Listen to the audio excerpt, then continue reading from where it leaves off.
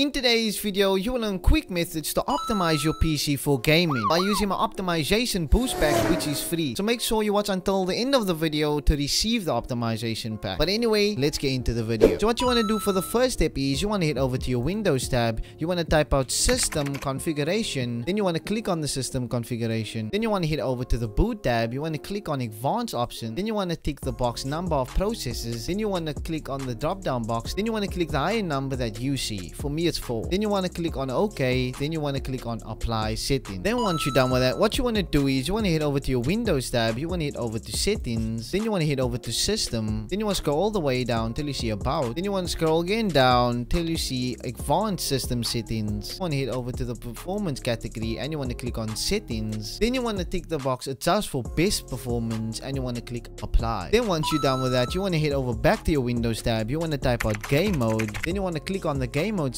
settings then you want to turn on your game mode and you want to hit back. So what this does, it's basically optimize your windows for gaming. So finally for the last step, the moment of truth guys, you're going to need to download the CPU optimization pack. I'll leave the link in the description so you can download it. So once you download, you want to open up the file. Then you want to head over to CPU optimizations. You want to click on CPU optimization. Then you want to hit yes. Then you want to hit OK. Then once you're done with that, you want to head over to disable power throttling. Then you want to click on yes. Then you want to click on OK. Then once you're done with that, you want to hit over to the game optimizations. Then you want to click on yes. Then you want to click on OK. Then once you're done with that, you want to run the power optimization. Then you want to click on yes. Then you want to click on OK. Then once you're done with that, you want to go back. Then you want to click on the cache cleaner. Then you want to run it as administrator. You basically want to let it do its thing. Then once you're done with that, you want to head over to the timer resolution. Then you want to click on the maximum bar and you want to minimize. Then once you're done with that, you want to head over to the unpark CPU. Then once you open the unpark CPU, you want to head over to the system power plan and you want to put it on high performance. Then what you want to do is you want to put your core parking index, you want to put it on 100% and you want to click on apply. Then once you're done with all these settings, what you want to do is you basically want to restart your PC and then all the settings should apply. By the way, this is the end of the video. If you want to boost your FPS in Valorant, you can watch this video on my right hand side and you can also subscribe to this channel for more content such as boost FPS, optimize your PC and so much more. But anyway, thanks for watching the video. I will see you in the next video.